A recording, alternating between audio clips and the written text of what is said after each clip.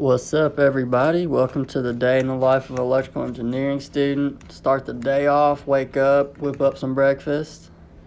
Then I got to make it to my first class by about 9:40. First class for me is biology.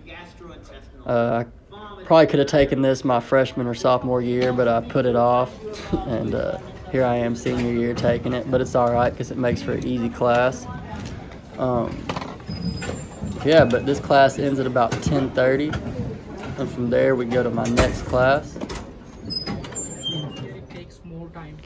Second class of the day is going to be electromagnetic interference or EMI, and that starts at 10:45. Uh, this class is a tech elective, and it comes with uh, a lab section to it. So as you currently see, I'm in the lab section of this, we have a uh, current student or a TA basically teaching us uh, some of the stuff we're going to be doing for the rest of the semester in this lab and class. So he's basically showing us how to use a LISN device. This stands for Line Impedance Stabilization Network. And he's also showing us how we're going to be taking our measurements off the oscilloscope and how to increase the bandwidth on it. Most of your tech electives or electrical engineering classes will have some type of lab that goes along with them similar to this. That we are seeing, but Basically, we'll be teaching you how to use the equipment and to properly measure and do stuff in that class. Here's an example of some of the labs that we use. This is our uh, electronics lab. These labs were uh, put together and funded by TI. So, shout out to them. Very helpful our school and university. Here's the circuits lab, which we do our circuit stuff in, as well as some of our energy systems uh, labs. I'm electrical, but on the left over here we have a, uh chemical engineering lab. I don't really know what you'd be doing in that, but chemical engineering students are in there often. So now we have my lunch study time. I have a little break here until my next class at 1 o'clock. So we usually just come in here, study, eat lunch in the electrical engineering lounge while we wait for the next class. Good view and everything. Now it's time for my thermodynamics class.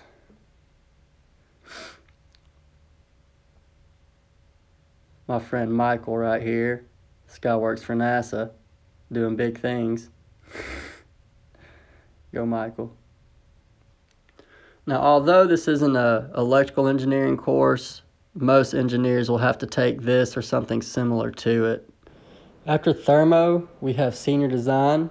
For me, it's senior design two because this is my second semester in it.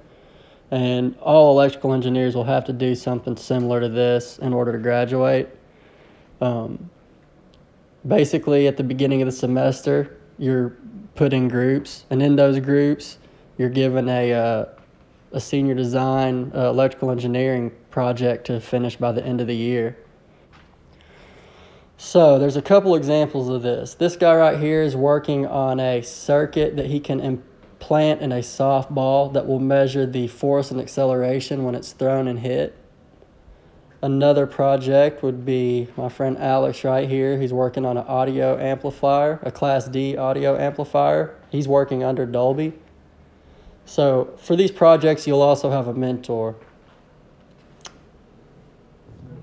My project is a 340 by 120 kilovolt substation. And uh, this mainly consists of doing uh, single line diagrams, uh, AC DC schematics, uh, three line diagrams, and uh, planning stuff like that, uh, building blueprints around it.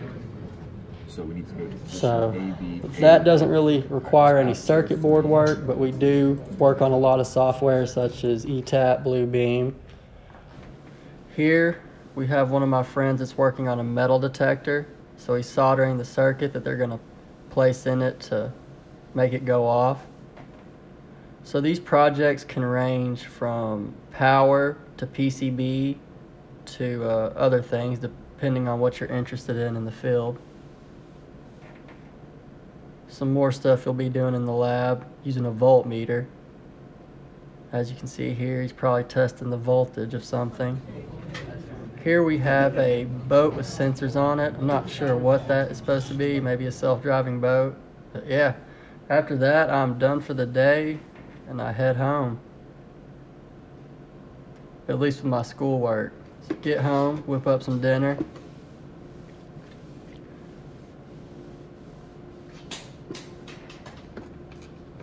Yum. Chicken's fire. And this is a very crucial part of the day. You're going to want to put at least two to two and a half hours to the side to study and do homework. Uh, staying on top of your stuff in the engineering department is very important. And if you can do so, your life will be a lot easier. So then from 7 to 9, I go work out, run, box, and then I'll finish the day off with the sauna.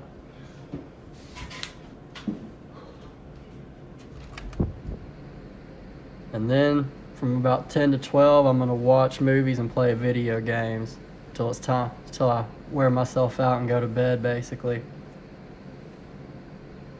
And this is pretty much the end of the day right here. So yeah, after this, you just wake up and repeat. Alright guys, thanks for watching. That's the day in the life of electrical engineering student. This is my senior year, so things will change up a bit if you're a sophomore or junior. You'll have a lot more labs for your uh, circuits and electronics classes. But yeah, if y'all have any questions, just comment below. I'll do my best to answer. And thanks for watching. Hit that like and subscribe button if this helped. Appreciate it.